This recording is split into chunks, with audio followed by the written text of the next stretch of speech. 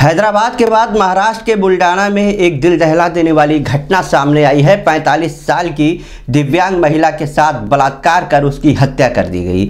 हत्या करने वाला कोई और नहीं बल्कि उस महिला का पड़ोसी ही निकला, जिसने पहले इस दिव्यांग महिला के साथ बलात्कार किया और फिर बड़ी ही बेरहमी से उसकी हत्या कर दी। पुलिस ने इस मामले में हत्या और बलात्कार का मामला दर्ज कर आरोपी को गिरफ़्तार कर लिया है।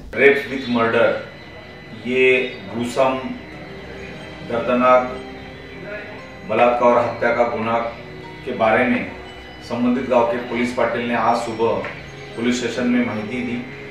हमारे पुलिस स्टेशन के पुलिस अफसर और पुलिस पर्सनल तुरंत घटनास्थल पर पहुँचे। ये गुने के बारे में जो गोपनीय माहिती प्राप्त हुई, उसके तहत वो मृतक के बाजू में ही रहने वाला रितेश देशमुख, इनके बारे में कुछ माहिती प्राप्त हुई।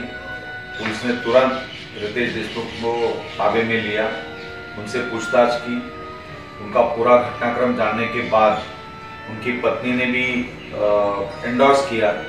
कि जब सुबह ये हत्या के बारे में चर्चा गाँव में हुई, तब आरोपी ने उनको बता दिया था मैंने ही वो महिला का मर्डर किया है। ताज़ा तरीन खबरों के लिए हमारे YouTube चैनल को सब्सक्राइब करें और बेल आइकॉन दबाना ना भूलें। अगर आप Facebook पर देखते हैं तो हमारे पेज को लाइक करें।